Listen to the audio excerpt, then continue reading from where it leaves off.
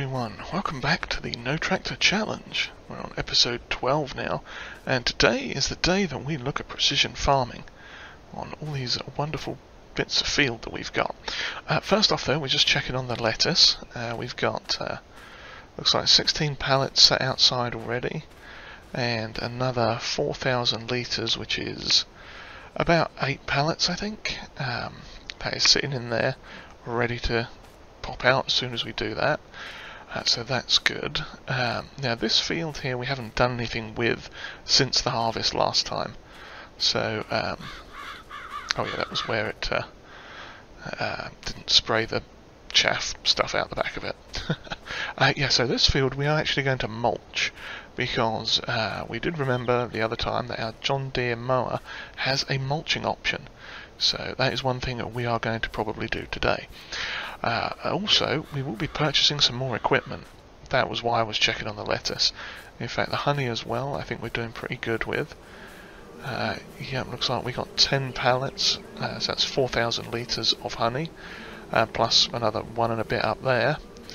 Uh, and we should have, just pop the help window up, two ready to go silos as well. Yes, we do, 100% there, and 100% there. Smashing. Uh, so yeah, uh, let's start by having a look at the old precision farming menu and see where we are. Now we've got an environmental score of 50 at the moment because we've done effectively nothing. Uh, so I've literally just put it into the game. Um, we haven't done anything with any of the fields since. Uh, so uh, what we are going to do is select this one and purchase the soil information for three grand. No, seven grand. Ooh, that's interesting. Seven grand for that. Or, about this one? Eight grand for that. Hmm. That is going to eat into my profits a bit. now, that was seven grand and eight grand. Let's have a quick look at the uh, uh, implements found. Let's check there's nothing else. Yeah, there's nothing on sale that we needed. Uh, so, um, implements wise, I think it's in miscellaneous. We should have passed all the stop signs and things. What's that? Oh, tiny bridge. Um, we should have the uh, Isaria, there it is, the Isaria Scout. Uh, Scout and the Proactive. Now that one, I don't know if that actually gets you the soil information or not, or if it's just the um, uh, what's it thing, just the um, like uh, nitrogen and stuff like that. I think that's all that does. Uh, is there a help option for this? We can't do it from here by the look of it, I don't think. Yeah, sometimes they'd have a help option, but I'm pressing all the wrong buttons. Uh, but yeah, that was 17 grand for the um, do-it-yourself kit. Plus there's going to be a processing fee on top of that, so I guess we're just going to bite the bullet and purchase the soil information on both of these. So that is some money spent. However, uh, our thing has gone up to 57, that's good. Okay, so what are we going to need to do next? pH is eh, not awful, but not brilliant. Now, I'm not sure how this is going to affect our grass fields, actually, now I think about it. I have to go and have a look at them, because obviously, yeah, the nitrogen map is pretty dire, if we're honest. Uh, let's have a quick run over and check the grass field and I will have to pop up the um, productions window in a minute as well, just to see what uh, what we've got on for um, the seed manufacture, because we need to figure out what we are going to plant.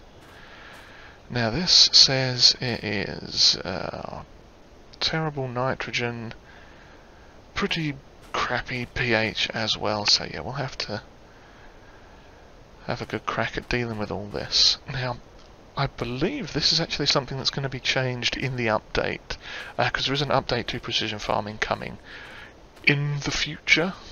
The specifics of it haven't been fully gone over yet, but uh, I believe it was the Giants podcast uh, that released just this past Friday, which would have been uh, Friday the 6th. That um, they did mention in that that there are some updates coming to grass fields and um, things like that with precision farming. So we'll have to take care of that, and um, we'll have to take care of these. So uh, let's see, it was productions. Okay, lettuce materials are missing. Oh, crikey, we need to get more water for that. Okay, well, let's start by doing that then, because we need that to keep producing. I had no idea we'd run out of water. That is uh, unexpected, to say the least. okay, yeah, so while we're down there filling up with water, I will check on the, um, the seed producing factory and see what else we need to get in there. So I should see you over there by the water pump in just a second.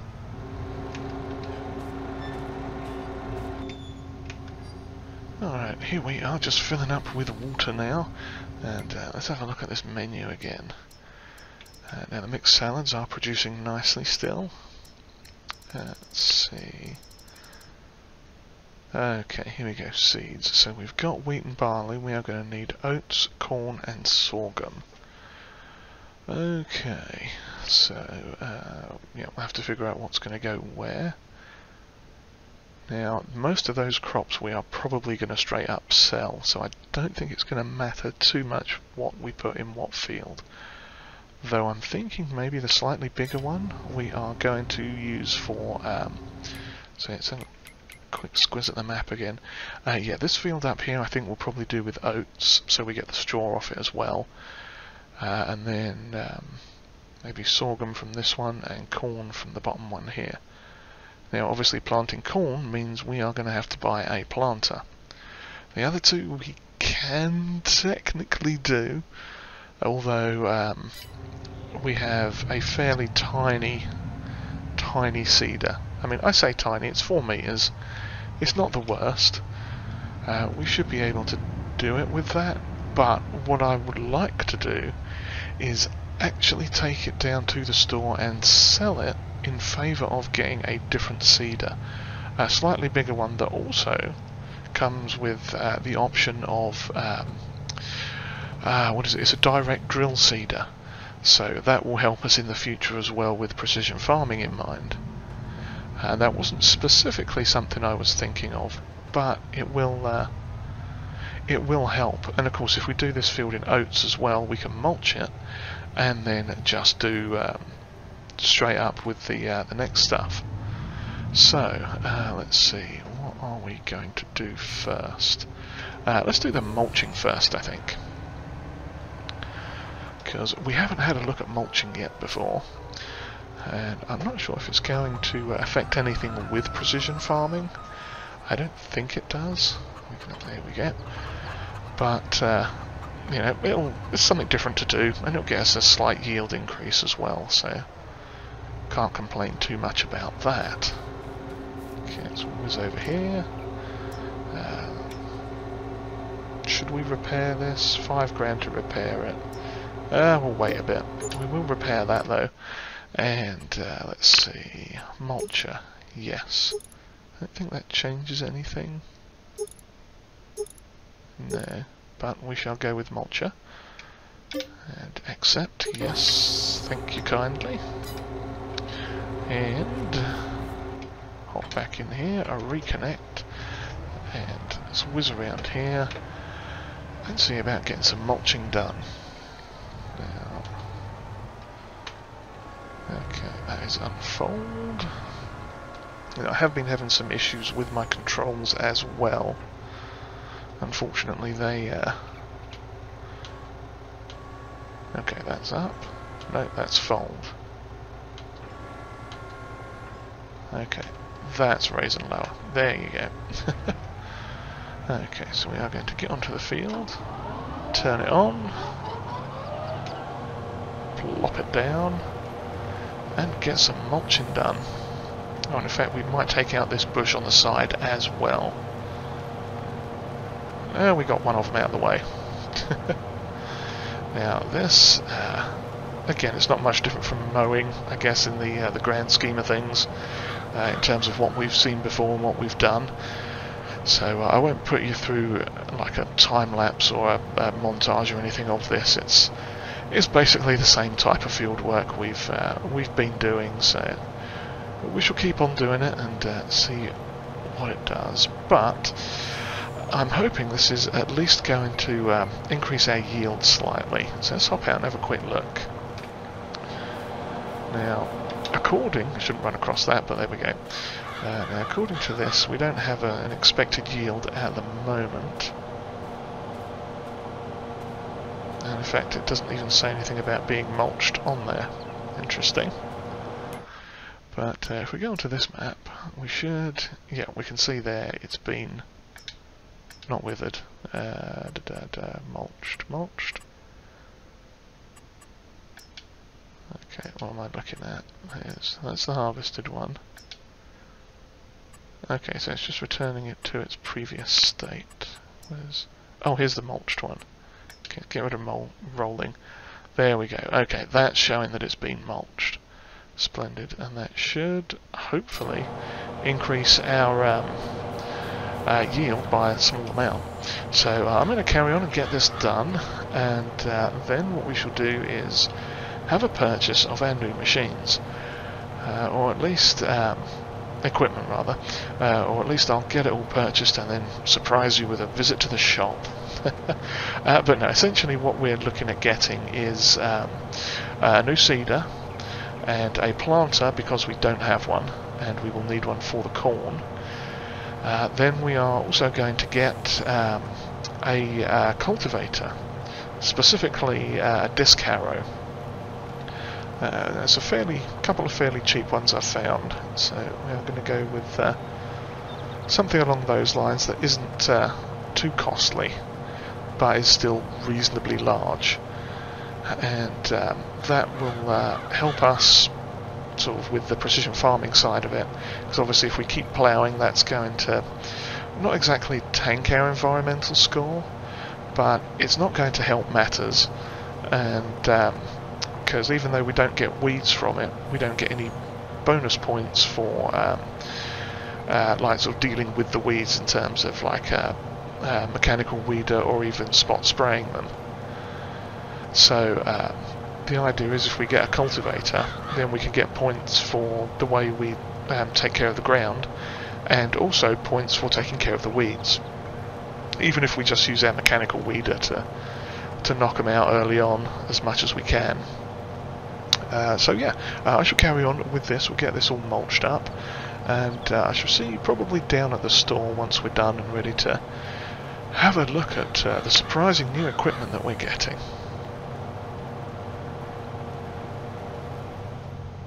Okay, we are now done with the mulching. That is all complete now. So I'm going to turn this off, fold it up, switch it back to a mower so that I don't forget next time, because I know what'll happen. I will forget. Uh, yes, so something else that uh, cropped up uh, in my brain. God, that's looking a bit worse for the wear underneath. We'll give it a bit of a wash off too, I think. Uh, but yeah, something else that popped into my brain while we were um, uh, doing that mulching. Uh, the fields are also going to need to be fertilised somewhat because uh, we're not putting um, what's that stuff uh, soybean in this time. Uh, what we are going to do is get back in here. yeah, what we are going to do is um, put down some digestate first get that all uh, loaded up and uh, then see about uh, going and getting the seeder because um, you know, being as it's now precision farming we will need to uh, nitrogen things a little bit differently now it shouldn't be too much you know we're still pretty much going to have to do like two passes over the field but um, the nitrogen from the uh, digestate should probably be um, not too bad, but it'll give us a bit of a head start on uh, uh, what's it on um, getting everything properly fertilised for whatever crop we are putting in. Now, obviously, we are doing uh, oats. I think I'd said in that big field there. So, try and get this in. Now, let's zoom in a bit so I can see it a bit better. there we go. Lovely. Okay, drop that off there. And uh, yeah, we're going to pick up the... Um, oh god, I'm going to run into those eggs. That's not helpful. Just back up and nudge it back into the thing. Hopefully it'll continue filling them. oh dear. Yes, those, those will be for the scrambled egg thing. Uh, now, oh crikey. After all that, I brought that water over and then forgot to uh, unload it into the thing. That's that's awesome, that is.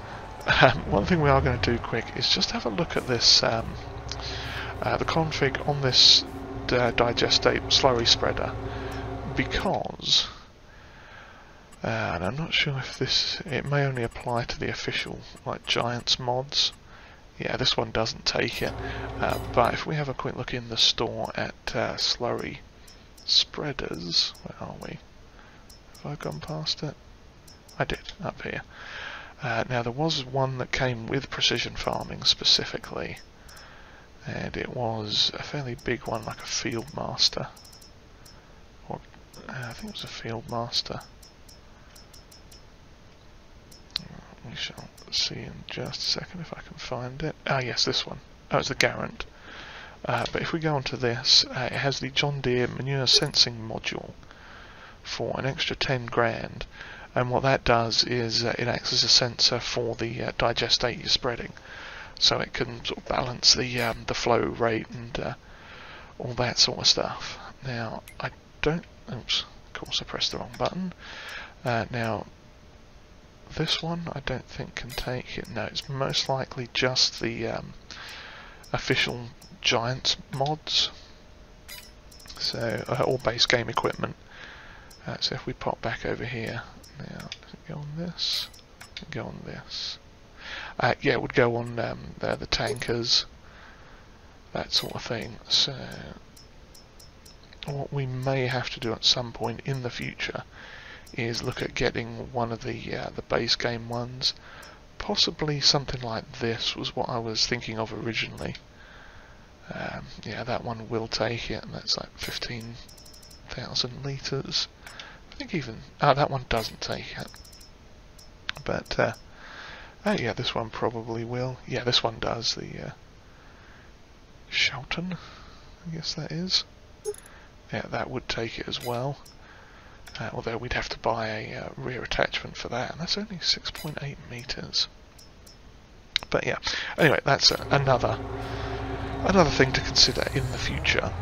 But for now, I am uh, going to unload this water, refill with digestate, and come back and spray this field. Alright, we are back now, and uh, as you can tell from that uh, rumble of thunder and uh, the wetness on the screen there, uh, it has started raining. So we are going to get this done as quick as we can before it gets too bad. And uh, there we go. Now, that is, uh, as you can see there, we do have the uh, the mini-map feature is now available. That came uh, came back with Precision Farming as it was in FS19, which is very very good. I'm very happy for that. So uh, we are going to go all around this field and uh, get at least one coat of uh, digestate on it, and then um, go and pick up our seeder, the new seeder that we are going to get. Um, and like I say, I did. Uh, uh, we'll take our old seeder down and exchange that, so that's going to save us a bit of money. Uh, but rather than buying everything all at once like uh, I was planning, uh, we're just going to do it in stages as we need it now. Um, that way we won't get uh, sort of bogged down in all sorts of um, you know, purchasing all sorts of stuff and then find we've run out of money for something that we really, really need at the time we need it because I mean technically we don't need the seeder but I kind of want to get it because it will help with this it's definitely going to make it a little bit better uh, it'll make it uh, quicker certainly because we'll go up from a 4 meter to a 6 meter and uh, it will also have um, the uh, what do you call it feature on it, the um, direct drill. So that is also very handy. And we will have to do this on our grass fields as well before they uh, they grow too much. So I'm going to have a busy time spreading digestate all over the shop it seems. but uh, we'll get done this field first and hopefully at that point this uh, brief shower will have passed and uh, we'll be able to continue on as per normal and uh, get the bit of seeding done. Uh, yeah, and like I say, you've all seen me uh, spread and digestate and stuff many a time before, so I won't bore you all with that and all the back and forth running and getting it, but uh, uh, we shall continue on with this and uh, come back probably when it's done and uh, when we're getting our new seeder. I think it's probably the best option for now. Uh, so yeah, I shall see you all in a little bit. Alright, we are down at the shop now. The uh, weather's cleared up a little bit. We are going to sell our seeder. Uh, as you can see there, the uh, money in the top right has gone down to 24 grand and is now going to go back up by about, uh, let's see, 1255. Uh, 12,532. That should put it back to about 14 grand if I respray it. Yeah, there we go. Okay, so let's sell that for um, 14 and a half grand. Lovely, back up to 20, uh, 37,000 and our lovely new seeder is sitting out here. Or, well, it's attached to the truck out here. And it is a fantastic Köckerling. Uh, seed jockey, I think it is. Oh, there's the uh, the new license plate we've got on there now, the No Tractor R Challenge license plate that I just decided to put on because, yeah, you know, reasons. uh, so yeah, let's fill it up with a spot of seed from over here. That was what was in the um, uh, previous seeder that we had. So I just need to back it up and hopefully it will accept it from the pallet. No. Uh, do I have to... Ah, there we go. I just wasn't quite close enough to it. I think that's going to be about eight, yeah, 830 litres. Lovely. So we shall head back up to the, uh, the farm and start putting some seed in before it goes all a bit tippy on us. Oh, that almost went bad, that did. Okay, yeah, we are going to have to make sure to go a tiny bit slower with this. Around the corners at least, because we don't want to uh, immediately ruin our brand new seeder. That would be quite awkward. oh, crumbs, there it goes again. Okay. Yeah, slow down on the corners, Feldynn. Otherwise we are going to be putting this thing on its lid and no one's going to be happy. Okay, here we are coming up to the field now. And as you can see in the top right, we've currently got uh, variable um, seed rate being displayed. So if I open this, there we go. And let's uh, see, we should be set on oats. Let's check the uh, precision farming map quick. Uh, where are we? Up here. Go to seed rate interesting. It's not actually giving us this data yet. But that's fine. That will probably come up once we start seeding, I would guess, or once it's turned on, or something. But uh, yeah, we've got uh, got our nitrogen going on there. Uh, I did do the grass field as well because we had some left over. Uh, so just to use it all up, I figured I'd just hit that as well. Uh, so yeah, let's turn this thing on, drop it down, and start seeding some oats. And, oh yeah, you can just see in the top left there, uh, we are in the uh, the first dot, which is black. Uh, so we are sowing the minimum amount of seeds possible on this field, which is great. So hopefully that means we're not going to go through too terribly many. Uh, although we will obviously use some Now, I'm not sure why the mini-map isn't updating. Or, in fact... Ah, this one is showing it now. Fair enough. So yeah, it looks like we just had to actually get onto the field and start sowing uh, to see exactly how it was going to do. And that's fine, that's not too big of a problem. And of course this is also um, a uh, direct drill seeder, so we should get some bonuses to our tillage, which is fantastic. Yeah, that is looking very, very tasty indeed. Now let's hop out quick and have a look, see what the field info gives us. There we go. Oh, I forgot to lime it as well, didn't I? What a numpty. Okay, well we could probably throw some of that on before we um, get too far in. Uh, but yeah, you can see there our expected yield is 112% already.